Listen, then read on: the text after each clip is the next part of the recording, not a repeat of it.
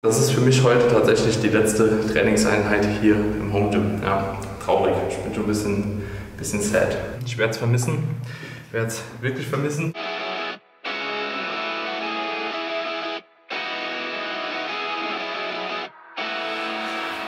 Einen wunderschönen guten Morgen, meine Freunde. Ich hoffe, ihr seid alle wunderbar in diesem Tag angekommen. Für mich ist es jetzt 7 Uhr oder bei mir ist es 7.03 Uhr. Bei euch kann es natürlich auch ein bisschen später sein. Auf jeden Fall habt ihr gerade so eine Einleitung in einen Start von mir gesehen. Also ganz routiniert eigentlich jeden Tag dasselbe, was ich mache. Erstmal zum Morgen ein Glas Wasser direkt straight exen, um einfach die Flüssigkeitszufuhr dahingehend zu gewährleisten. Dabei achte ich auch darauf, dass das jetzt nicht ein urkaltes Wasser ist oder ein urwarmes Wasser, sondern es hat einfach so eine normale Körpertemperatur bzw.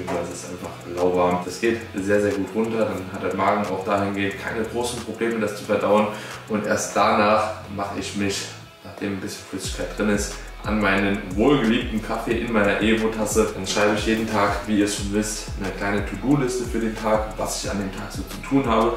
Beispielsweise steht bei mir jetzt als erster Punkt drauf Organisation. Das ist bei mir eigentlich so immer der erste äh, Punkt. Organisation, die To-Do-List überhaupt mal anfertigen, mal ein paar Mails checken, äh, ein paar Nachrichten checken, aber das Ganze mache ich dann nie über mein Handy, sondern äh, check das immer am Laptop, weil ich da hingehend einfach weniger Gefahr drin sehe, die sozialen Medien äh, zu nutzen, wie beispielsweise Instagram, YouTube und so weiter und so fort. Und dementsprechend alles erstmal nur über den Laptop, um mich dahingehend ein bisschen rauszunehmen. Jetzt steht auch mein Check-in beim Coach an. Und bezüglich des Check-ins beim Coach wollte ich euch auch noch mal ein paar kleine Daten gleich vorstellen, denn ähm, ich bin eigentlich relativ zufrieden mit dem Körpergewichtsverlauf in den letzten Wochen. Ich habe echt gedacht, das Ganze wird ein bisschen schlimmer, aber scheint auf jeden Fall ziemlich stabil zu laufen. Dann gibt es auf jeden Fall auch noch ein paar kleine Infos bezüglich meiner bevorstehenden Reise in die Staaten und zwar geht es nach Las Vegas und nach Los Angeles. Wir werden drei Tage in Las Vegas bleiben. Danach werden wir wahrscheinlich einen Tag so ein bisschen zu Grand Canyon etc. tuckern und dann von dort aus nach Los Angeles, was da alles ansteht, wie ich das Ganze geplant habe und vor allem auch was es für Content für euch zu sehen gibt. Werde ich euch im Verlauf des Videos sagen. Jetzt gibt es erstmal noch ein bisschen was zu arbeiten. Habe einiges heute noch auf der To-Do-Liste. Ihr kennt es wahrscheinlich, wenn ihr in Urlaub fliegt. Am Tag vorher ist irgendwie immer die Hölle los und dementsprechend geht es jetzt erstmal ab mit meinem kleinen Check-in für den Coach.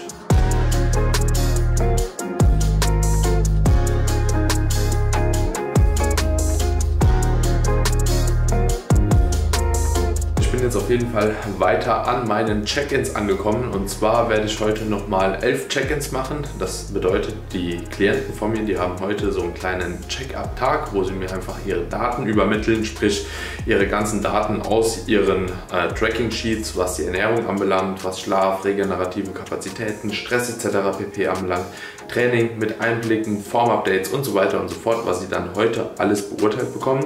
Habe jetzt soweit drei bis vier Stück erledigt, aber jetzt gibt es erstmal einen kleinen Shake, um auch mein erstes Protein-Feeding hier mal reinzuholen.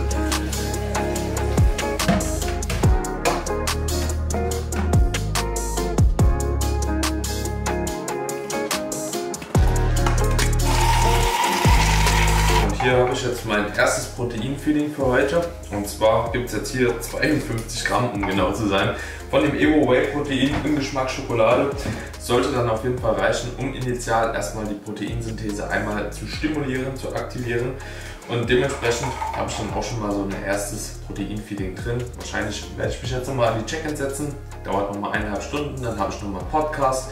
Und danach wird nochmal eine Kleinigkeit gefrühstückt, aber ein bisschen ausgiebiger. Dann gibt es ein bisschen was am Brötchen.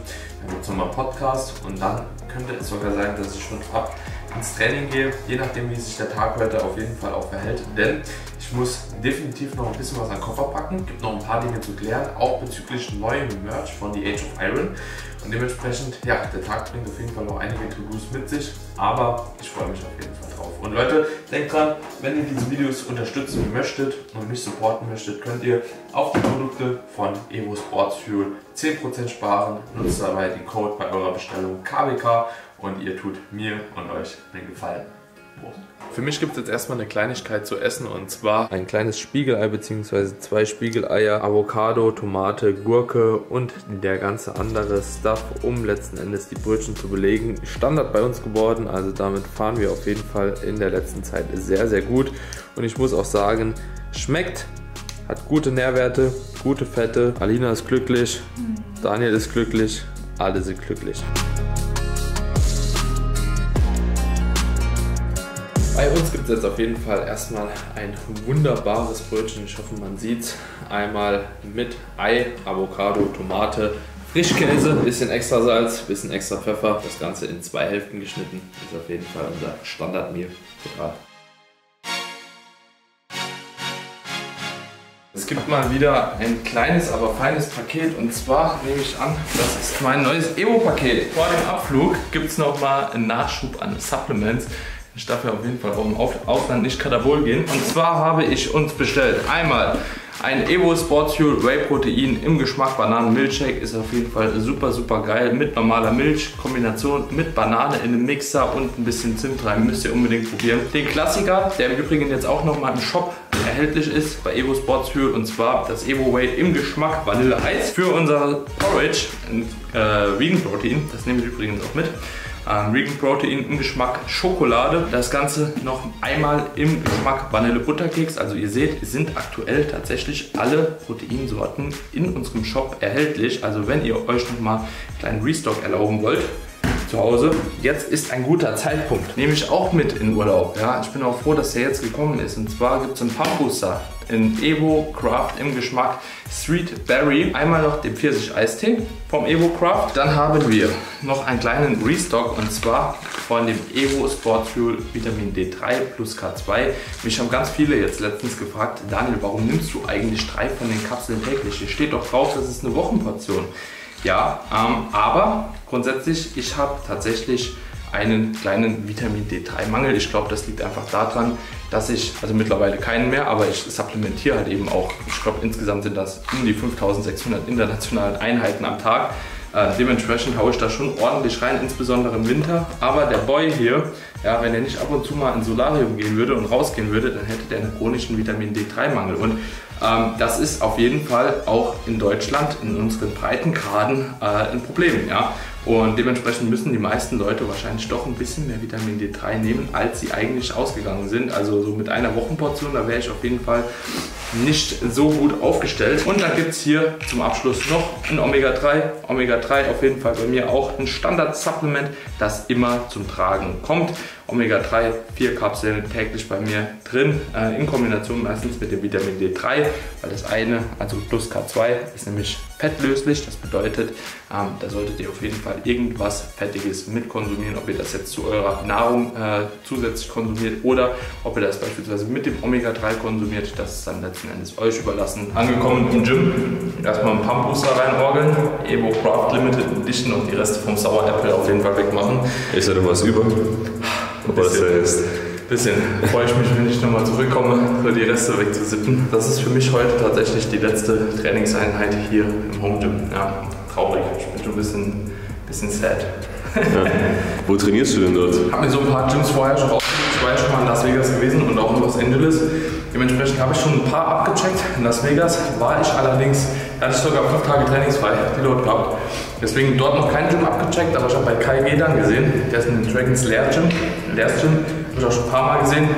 Da werde ich mich auf jeden Fall auch mal drei Tage einbunkern. Kostet eine Einheit gute 30 Dollar. Das heißt, du zahlst jetzt 90 Dollar für drei Tage Training. Ja. Das freut dich. Week Pass würde 99 kosten. Und Los Angeles wird es aber nochmal eine Nummer strammer. Ne? Weil da bezahlt man für das gute alte Gold's Gym. Und wir sind halt in Marina del Rey, das ist gar nicht so weit lokalisiert davon weg. Jetzt hat man gute, sage und schreibe 40 Dollar. Kompletten Schaden, Alter, wirklich, ey. Ja, aber ich freue mich trotzdem. Darauf spart man ja irgendwo auch hin. Ne?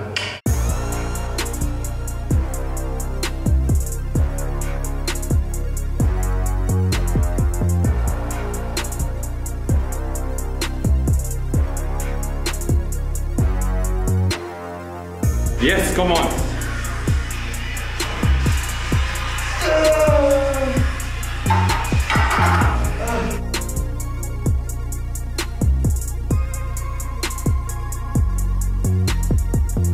So, Digga, dritte Übung.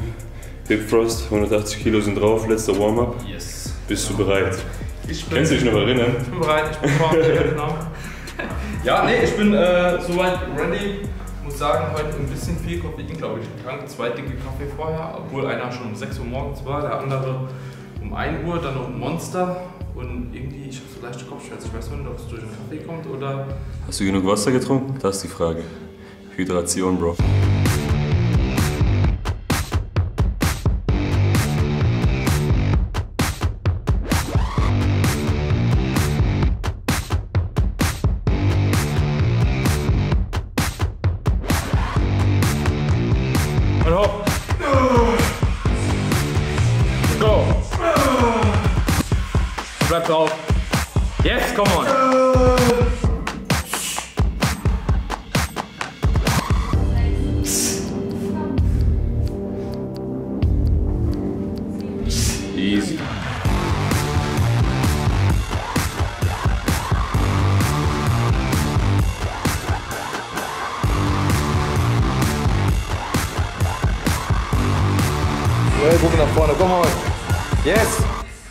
Komm, bleib drauf.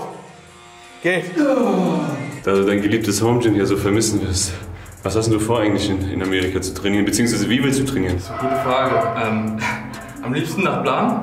Ich denke, ich werde auch meinen Plan tatsächlich so beibehalten, aber wahrscheinlich werde ich trotzdem ein bisschen was ausprobieren. Du weißt selbst so, ich will auch immer vielleicht ein bisschen was an Equipment auch suchen fürs Home Gym. Ne? Und dementsprechend mache ich vielleicht doch gerade in Amerika so die ein oder andere Maschine. Bin gespannt auf Prime und auf alle anderen Maschinenhersteller, die es da so in Amerika gang und gäbe gibt oder die dort gang und gäbe sind. Ich versuche ein bisschen meinen Plan auf jeden Fall beizuhalten, was das Satzvolumen anbelangt, was so Wiederholungsbereiche anbelangt. Aber ich denke, ich werde auf jeden Fall schon ein paar sehr, sehr geile Maschinen ausprobieren. Ansonsten lohnt es sich auch irgendwie nicht, die 30 Dollar halt für ein Studio auszugeben. Ja, würde ich auch nicht, Digga. Also wenn ich nichts Neues da drin habe, dann 30 Dollar dafür zu bezahlen, ist so ein bisschen... Ja, also gerade auch so für, sage ich mal, so das Standard-Equipment, was wir hier haben. Wenn es Hammer gibt, bin ich eh zufrieden. Wenn es schon 80 gibt, bin ich auch zufrieden. Aber so, wenn halt irgendein Bullshit drinstehen würde, dann würde es auch gar nicht lohnen. Aber allein für den Flair, so ein paar Maschinen ausprobieren, so ein bisschen rumdödeln, wird auf jeden Fall schon ziemlich geil. Aber ich werde auf jeden Fall ambitioniert am Plan bleiben, werde meine Trainingstage so weiter verteilen, wie ich es auch gemacht habe. Und eigentlich bleibt alles gleich, außer die geilen Maschinen halt.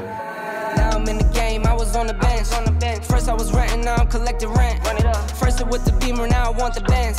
Spending all the bag like here I go again. Outside says chirp, now the camera phone. Told you I'ma make, keep the channels on. Why you acting different when the camera's on? Why you acting different like your paper long? Eight day wake up and I thank God. Bad decision got you wishing you could say No, nah. I said the gritty, you could get hit any day now. On my mama, I'ma move, I'm any way out. With some 20s, 50s, hundreds, thousands, millions, billions, trillions, zillions. I'm talking Amazon money, talking so much money I could mess around and buy Amazon. I've been winning, I'm like, why me? I heard these labels wanna buy me. I don't need you, Übung durch, ich bin durch. War auf jeden Fall die letzte Einheit hier im Home Gym. Ich werde es vermissen, werde es wirklich vermissen, aber ich freue mich auch genauso auf die neuen Gyms in Las Vegas, in LA und wo wir sonst noch so rumturnen werden und auf jeden Fall auf das gesamte Equipment, das mich erwartet. Und wenn euch das Video gefallen hat, wenn ihr vor allem Videos aus Las Vegas, Los Angeles sehen wollt, dann schreibt mir gerne in die Kommentare, was ihr sehen wollt und vor allem Vielleicht habt ihr auch noch Gym-Empfehlungen dort. Dann könnt ihr das gerne auch bitte in die Kommentare schreiben. Dann werde ich das vielleicht noch auschecken. Ansonsten gebt dem Video einen Daumen nach oben. Vergesst den Kanal nicht zu abonnieren, die Glocke zu aktivieren. Und dann sehen wir uns im nächsten Video aus Vegas wieder. Ciao, ciao.